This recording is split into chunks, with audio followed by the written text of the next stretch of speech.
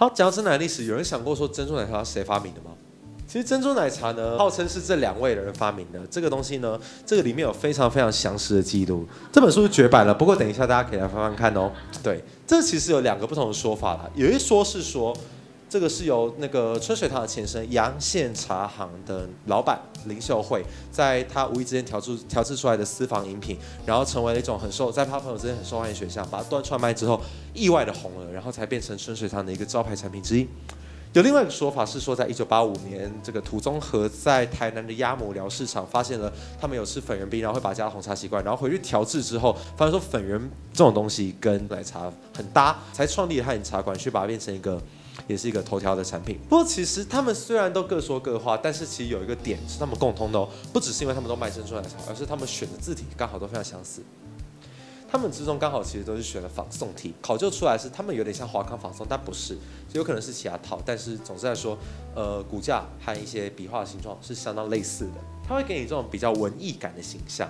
那这还还蛮符合他们的茶馆想要有的包装的，因为说他们茶馆嘛，想要有这种比较人文的，因为那个年代的人是会在里面去聊天、谈是非、看杂志的，想要包装出这样的形象呢，你就会选用这种比较人文感的字体，是非常合理的。不过，如果你今天看到现在的春水堂呢，它现在其实换成右下角的这个，然后它用的是魏碑体。魏碑体是一种比较强悍一点的字体，因为它是本来是出现在那种石碑、北魏石碑体，简称魏碑体，去刻在上面去出现的。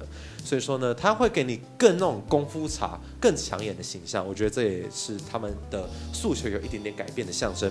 那在早期呢，在最早期，珍珠奶茶有所谓的三本柱，是哪三家呢？哦，天哪！天哪，好怀念哦，真的是，对我真的是很怀念。对，有这三家，你可以看到他们字体美学其实就还蛮不一样的，因为那个年代的人呢，会用自己的语言去构筑这样子的品牌形象。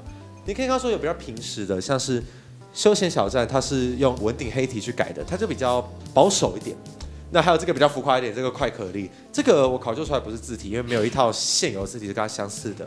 不过总之它是一种美术字，然后非常接近，例如像是蒙纳广告体或是文鼎广告体。然后右边呢，这个是歇脚亭的第一代招牌，它用的是书法标准字，这个是请别人去设计的，所以可以看到说有保守的，有 hito 的，有有比较人文气息的，所以他们的包装方式其实在那个时候呢就已经开始出现分歧喽。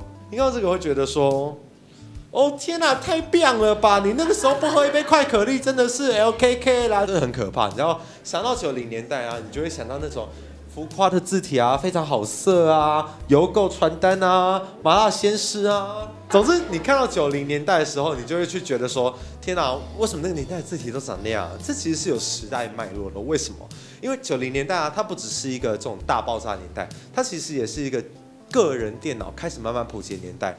然后还有一个很重要，就是说，我不知道大家有没有看过那种什么字形大补帖这种东西，就是你买一张光碟啊，不知道哪里买的，你可以灌五百套字体，对，所以你可以看到说两个相乘起来，我每个人都有电脑，每个人都有字体，就变成说，哦，我可以装，我可以装这个字体，好炫哦。然后我今天在一个别人，我就看到说，天哪，他装了这个字体，我不能输给他，我要用一个更棒、更更 pop 的字体。然后你知道吗？在这样子的这种军备竞赛之下。字体就变得越来越浮夸，越来越不符合我们那种传统的运用排版字体的脉络。可是你知道，时到今日啊，大家对于美感都有提升，对于字体的版权意识以及字体教育也都有更多的增进。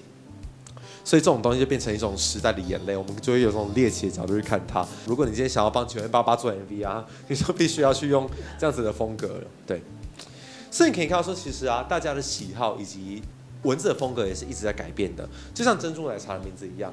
最早啊叫做珍珠奶茶，后来啊因为在一九九零年代，港星叶子梅她用波霸来帮自己行销，所以在那个三级片盛行年代啊，波霸奶茶也成为了就是一个替代的名称。然后到了零零年代啊，珍珠鲜奶茶，对我开始要强调鲜了，因为早期都是奶精嘛。那如果我今天开始用的鲜奶，我是不是就比别人更高档一点呢？所以珍珠鲜奶茶这种名字也开始变成一个主流。然后到了一零年代，大家喜欢更文青一点的包装啊，什么珍珠红茶拿铁就出现了。然后以及到了现在嘛，白玉欧蕾，哦，这名字真是很厉害。白玉在日本是指麻薯那种东西，对吧？然后欧蕾在是从法文的 Olay 来的，意思是 of milk 或 in milk 这样子的意思。也就是说，哦，我这样可以把一个日文的词跟一个法文词结合起来，变成一种台湾的饮料。佩服佩服。对，所以我们在面对不同时代的人啊。都不是同一群人，对吧？所以我们都要用不同的语言来去行销，甚至说你可以看到他们的字体也去慢慢的不一样。那还有什么东西在变呢？以前一杯珍珠奶茶只要二十五块啊，现在一杯珍珠奶茶竟然可能要到六十块，甚至七十块都有了。在过了那么多年，我们今天一杯珍珠奶茶的价格已经快要逼近一顿正餐嘞。我要怎么让大家去心甘情愿付这个钱呢？我要去提升它的附加价值。如果今天用了一个这样的字体，你会付多少钱去买它？可能不高啦，二十五块、三十块之类。但如果今天用了一个好像有挑选过的字体，哦，这套叫做森泽建筑明 MA 三十一，呃，字面上的意思是说用在标题或是招牌上面的明朝体这样子的意思。这个里面呢，就讲到说，如果今天用了一个比较单纯的字体，就会给你是一种好像是随便厨师煮出来的感觉。可如果今天呢是用一套比较设计细节多一点字体，就会让你觉得好像说这个厨师比较厉害。所以说。你可以透过字体去帮你增值，这个很重要。其实就是我们刚刚一直讲到嘛，字体给人的信任感。我们来你看嘛，很明显说，左边那个 Gam A 塞啊，我今天用的是一套英文是 Baskerville 这套过渡风格的衬线体，然后下面这套是 Mac 内建的叫做凸版文九建出明朝，也是一套签字时代的明朝体，相对来说打起来就很和谐。可是如果今天右边用的娃娃体，就是。五十安的招牌啊，它其实到现在还是用那个年代有一点综艺感的字体的设计，然后以及说你可以看到说它杯子上面有这一坨不知道是什么东西的，它其实是紫 CT，到底谁会去注意这种东西啊？可是其实啊，杯子上面都有写答案哦，来各位仔细看一下，The Tea of Cool Craving and Content，说说说说到底谁会注意啊？你知道你现在看到这种东西，你会有种天啊，是什么西街少年吗？还是格德斗德格斗天王吗？那现代的小孩看到看到这种东西，只会想到这个。对对对，尤其是你知道，他们现在大颗珍珠还是叫波霸，对吧？就你去的时候，哦，我还没蒸奶，然后，呃，请问是珍珠或是波霸？你知道，呃，那个波霸。好，那讲到这边呢，我们要慢慢为蒸奶这个部分去收一个尾声啦。我们要来为大家去有一些个案分析，以三种不同特色的手摇品牌来跟大家讲一下他们的字体应用。茶有很多的包装嘛，有东方的，有西方的。那不同的茶品牌要怎么样去凸显自己的茶的特色呢？我们来看一下，像例如说可不可，它现在变成这一套由浙江民间书科体加上小种明朝去改的标准字，它怎么改啊？这两套字体怎么改成？然后我们为大家去解析一下。茶汤会呢，我们推测是用书法字帖去拼的，因为我觉得说它的茶相对来说是比较粗一点，而汤会的那两个字，好像它的那个分量就没有茶的那么重，有可能是他想要强调茶，有可能是他所选用的那个字帖是这样子设计的，这个我们就不得而知。那右边的呢，这个康青龙呢，是由方正窑体去改的，它是保留了这种窑体啊，细细长长，然后有一点笔画那个末端像是刀这样子尖尖的，非常非常洗练的印象。本来是有点文革感，但现在在台湾看起来啊，大家会觉得说，哦，它有一种阴柔的气息。我们回到可不可的这个品牌标志设计，它其实很特别，因为我们那时候比较很久都比较不出来，直到说我们的自己设计师国荣才发现说，哦，原来它其实是以浙江民间书刻的这个字体呢，去由模板去修正的。不过它还是去针对了说英式茶行的氛围，所以它把它改造的更现代一点。小种明朝呢是一套差不多在九零年代所设计的字体，非常非常尖锐，然后是一套现代感名体的代。表，那它同时呢，去平衡了这种现代感的名体以及这种古典感的名体，去杂糅两个的特点，来去结合，说自己有一点点然后复古那种 hipster 的感觉，但是又很现代又很潮的这样品牌形象，我觉得算是。非常非常扣合他们的品牌的诉求，包装的非常非常好。那以珍珠著名的品牌呢？你知道现在很多黑糖珍珠嘛，它慢慢慢成为一种日本人然后韩国人在台湾一定要去朝圣的东西。像例如说老虎糖呢，它是由方正窑去改的。为什么看得出来呢？下面那个虎啊，我们要在虎的时候其实不会把它写成茶几的几，我们会把它写成一个儿。但是在中国的字形标准，对方正窑体是一套中国的字形。在中国的字形标准里面呢，它必须去写成一个这样子茶几的形状。所以这个真主丹呢，这就蛮特别的，它是去定做的说书法标准字。那右边这个吉隆堂呢，是最近也是还蛮疯狂展店的一个品牌呢，它是有文鼎出力去改的。隶书常常都会出现在一些商号啊，例如你可以看到说那种什么国术馆，或是一些老字号的招牌都会出现。我觉得它是透过这个去表现说它自己是一个老字号的东西，尽管它不是，但它想要营造这样的氛围去互补，我觉得是蛮适合的。真主丹。曾祖母，对，是甄子丹啦。说真的，因为他的品牌的那个 logo 叫做“把珍珠煮成仙丹”，我想，OK，总之他是真主丹啦。可是有人会看成母，对，这个其实就是书法题字的一个问题。我今天要题字啊，有时候那个辨识度并不是第一个考量。不过我觉得他其实算是做的不错。为什么呢？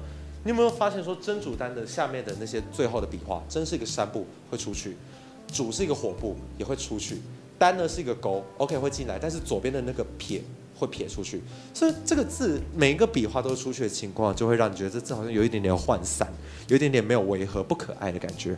所以我今天透过这样子去把那个笔画每一个都弯进来、弯进来、弯进来设计，就让你哦，这个字好像包成一颗圆球的感觉。我觉得更符合他们想要的形象。这个其实就跟日本这样子看停留的书写有一点点相似。看停留他们一个很重要点，像“风”这个字出去的笔画一定要回来，它其实就象征了圆润，象征了要把客人这样子包围住的感觉。我觉得它其实是一个异曲同工之妙，因为不同的人在面对相同的想要表达的一些文字风格的时候，其实都会出现相似的反应哦。以果著名的品牌其实很多嘛，因为你知道知识就是力量，真奶就是热量。所以说，你今天不想要热量，那怎么办？我今天是想要喝一些比较清新一点的水果类的饮品。看，像大院子用的这一套呢，其实是华康力黑去改的，那个紫的那个勾，那个是直的勾下去的，很非常非常鲜明。然后中间这个一方呢，它是由康熙字典体去直接作为它的品牌字的，但这个见仁见智。有些人会觉得说，哦，康熙字典体它还蛮。复古的嘛，蛮笨拙的嘛。可其实，在一个字体的从业人员或者说推广者的眼中，它并不是一个合格的字体。为什么？那字体还分合格不合格的吗？有，因为康熙字典体它是一套扫描了康熙字典它的每个词条的那个。